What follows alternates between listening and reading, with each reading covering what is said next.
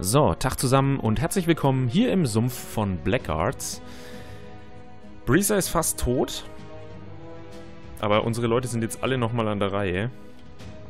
So, Naurim könnte uns diesen Kerl hier mal vom Hals schaffen. Das wäre, glaube ich, gar nicht so unpraktisch.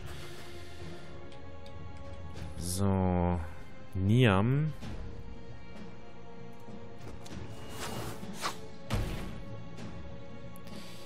Surbaran könnte auch Breezer helfen. Er hat nämlich nur noch 8. Trifft er ihn damit? 78%, komm, das muss klappen. Sehr gut. Naurim pariert.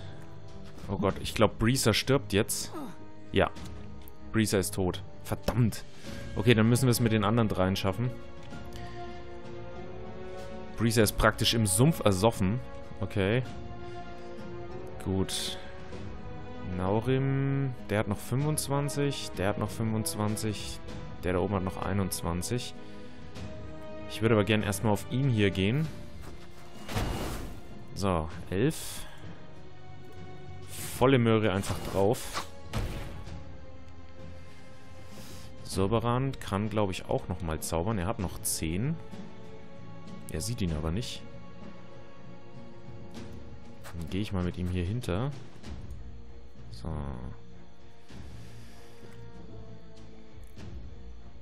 Nee, dann nehmen wir mit Surberan noch einen Trank. So. Astralpunkte auffüllen. Oh, Naurim kriegt wieder aufs Fressbrett. Und zwar ordentlich. Okay. Naurim darf nochmal draufhauen. So, damit wäre der Geschichte. Niam. Sollten wir noch hinkriegen. Ähm, Sekunde. Ich würde jetzt eigentlich gern Naurim heilen.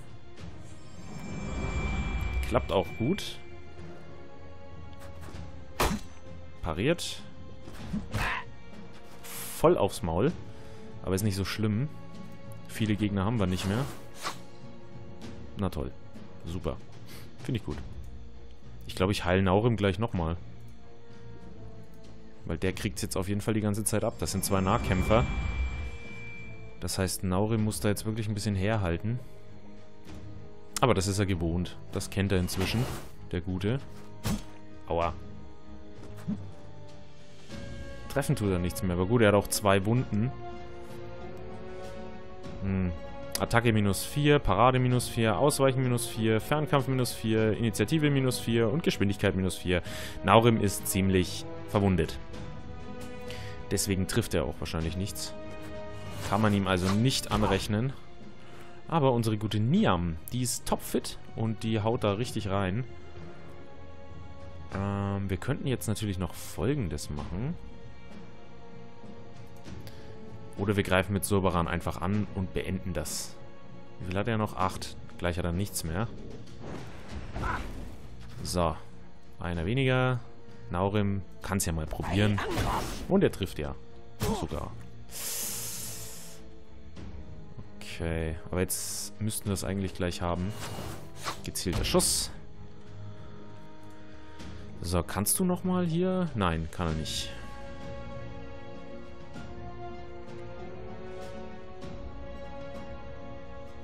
Heilen kann er noch. Aber bitte nicht den Gegner, sondern unser Naurim.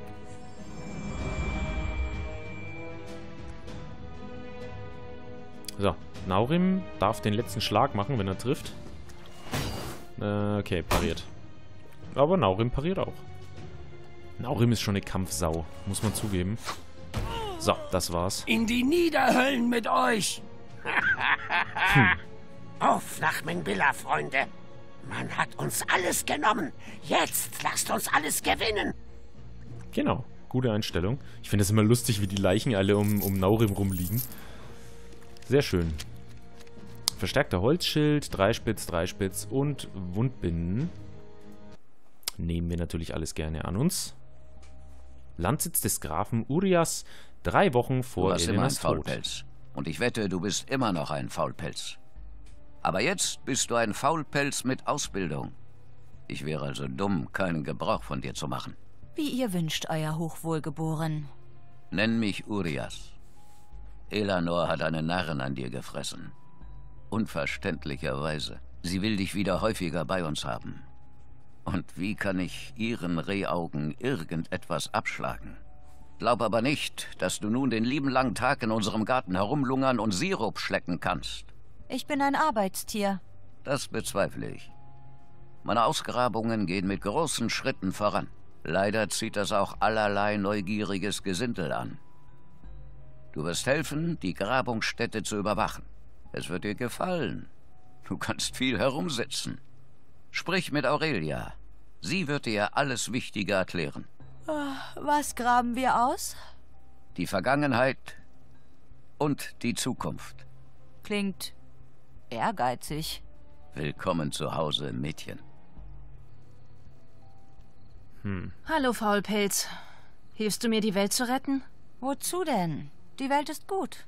Die Welt ist ein Teller madiges Fleisch. Sieh dich um. Die Hälfte der Menschen ist unglücklich. Und die andere Hälfte zufrieden. Und das genügt dir? Ja, gut, mir genügt das nicht, muss ich ganz ehrlich sagen. Aber in unserer Welt, also jetzt im Real Life, ist es ja auch nicht 50-50. Bei uns ist es ja eher so, 2% der Welt sind glücklich und die restlichen haben Riesenprobleme. Obwohl es viele nicht wissen. Leider. Manche Menschen, die leben wie die Made im Speck und andere wissen gar nicht, wie, wie, wie schlecht sie eigentlich leben. Die haben nicht mal Zugang zu Trinkwasser, nicht mal Zugang zu Essen, aber gut, darüber will ich jetzt hier im Gameplay gar nicht reden. Breezer scheint mir aber so die Person zu sein, die sagt, ja, mir genügt das, das ist philosophieren. Komm, Breezer soll mal philosophieren. Jeder Mensch ist in seiner Natur entweder glücklich oder unglücklich. Nimm einem glücklichen Menschen alles und er wird dennoch strahlen. Bewirf einen Unglücklichen mit Geld, Wein und Festen und er wird bald wieder jammern. Es lässt sich nicht ändern. Du bist wirklich ein Faulpelz. Das ist ein bisschen, hm, weiß ich nicht. Aber irgendwo, ja gut, sie hat schon irgendwo recht. Man ist, wenn ein Mensch glücklich ist mit dem, was er hat, ist er glücklich. Und wenn man tief im Innern einfach zufrieden ist, dann will man eigentlich auch gar nicht mehr. Das ist halt so. Hm. Aber gut, der Mensch ist halt so, der will immer mehr. Das ist äh, in uns einfach drin. Warum so übellaunig? Hm. Ausgrabungen? Ja, warum bist du denn so gestresst? Was denn los? Warum so schlecht gelaunt? Ach, Urias wird mich nicht mitnehmen. Er lässt mich hier verstauben. Weil du launisch und unberechenbar bist. Wer will so jemanden schon dabei haben? Ja, ha. Ha. Sagt man da nicht eigentlich ja? Haha. Naja, ist egal. Urias Forschungsreise. Dieser Urias, der ist auch irgendwie, hm, weiß nicht, nicht so ein Sympath irgendwie. Ausgrabungen. Welcher gefährliche Ort ist es diesmal? Das Regengebirge.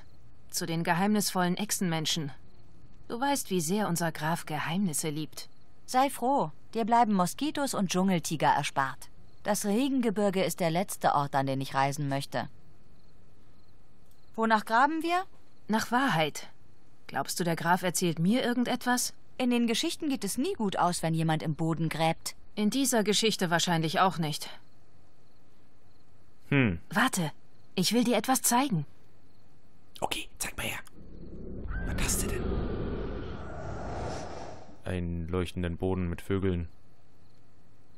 Okay. Aurelia ermahnen, Aurelia loben. Warum? äh, Ich, ich weiß doch nicht mal, was das war. Wie kann ich die denn loben oder ermahnen? Ich weiß doch gar nicht, was sie gemacht hat.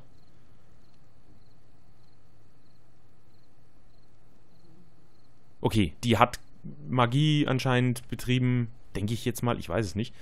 Und ähm, da waren Raben. Und Raben sind meistens Zeichen für dunkle Magie. Also ich nehme jetzt mal ermahnen.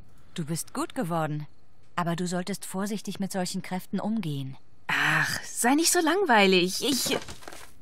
Was war das? Äh, Komm. Oh. Sehr schön. Was sind das für welche? Banditen wahrscheinlich. Okay. Hier kann man wieder das Terrain viel nutzen, glaube ich. Hier haben wir Deckung, Kisten. Vielleicht aber auch nicht. Was kann sie denn? Ist sie auch eine Magierin? Ja. Zauberschutz. Heilt Verletzungen und bietet Schutz vor magischen Angriffen, Feuer und Giften. Plus 10 Lebenspunkte, Magieresistenz plus 10. Was hat sie hier noch? Hexengalle. Ach, das kennen wir doch. Der Zaubernde spuckt ätzenden Speichel. Ach nee, das kennen wir nicht. Ätzenden Speichel auf seinen Gegner. Drei Punkte Giftschaden, Opfer äh, drei Runden gelähmt. Also ist eventuell für drei Runden gelähmt. Da hat sie schon die zweite Stufe. Also sie ist eine Hexe. Eine Schwarzmagierin. Hier unten haben wir nichts.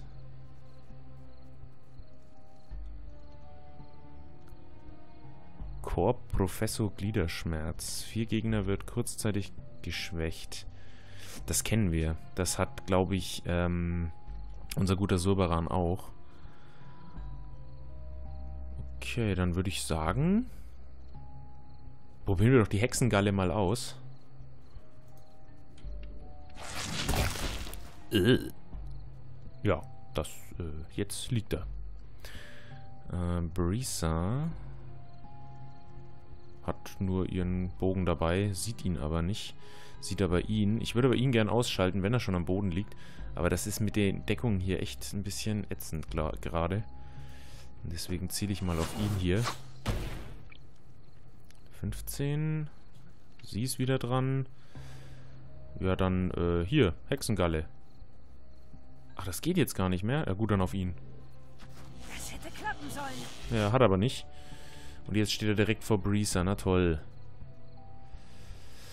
Äh, das wird jetzt... Ja, 50% ist ein bisschen mies, ne? Waffenset leer.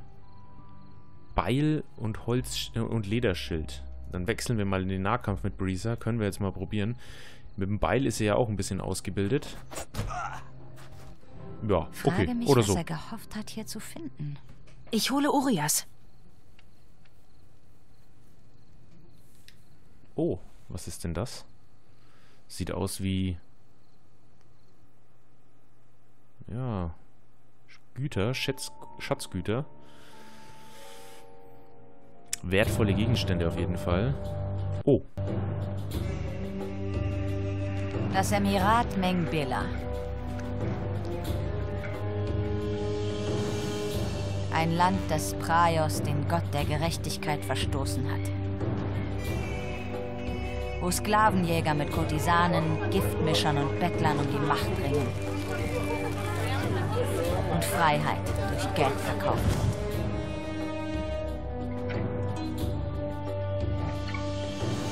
Unsere neue Heimat.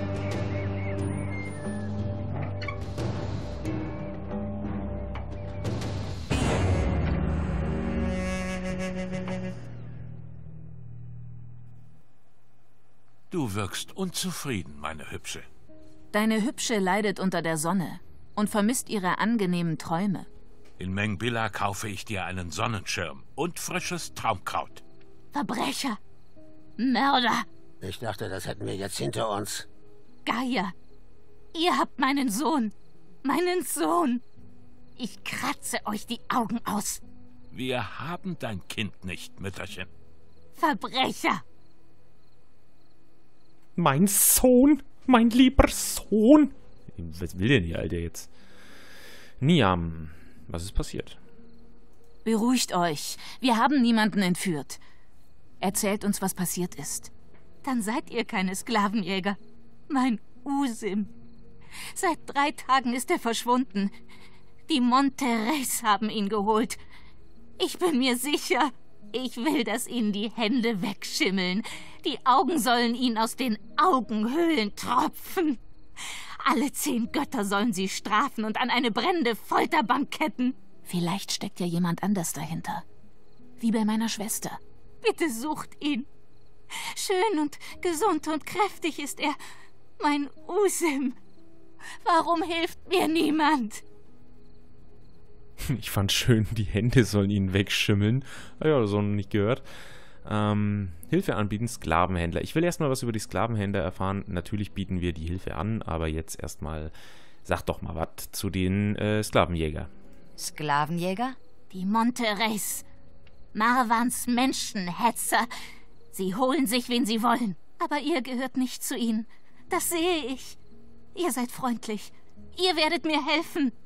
Am Anfang hast du uns noch beschimpft. Okay. Geh nach Hause, Mütterchen. Wir finden deinen Usim. Danke. Danke, danke, danke, danke. Die Sklavenjäger sind nach Westen aufgebrochen. Hm. Bitte findet ihn. Usim heißt er. Er hat schwarze Haare. Er ist treu und gut und betet viel zur Herrin Travia. Was genau erwartest du dir von diesem... Äh, Antworten. Irgendetwas. Ich muss wissen, was passiert ist. Okay. Herzlich willkommen in unserer neuen Heimat. Eine Händlerin. Was haben wir hier? Eine Frau. Ist das die Frau, die, mit der wir gerade schon geredet haben? Alter. Bisschen viel im Fitnessstudio gewesen. Ein Wirt, okay. Dann würde ich vorschlagen, als allererstes natürlich, wie in jeder Stadt, gehen wir erstmal zum Wirt. Senorita? Senior? Äh, okay, da können wir nur übernachten. Ich dachte, wir können vielleicht Es war Informationen mir eine einholen. Freude. Können wir aber nicht. Dann reden wir doch einfach mal mit der Wirtin.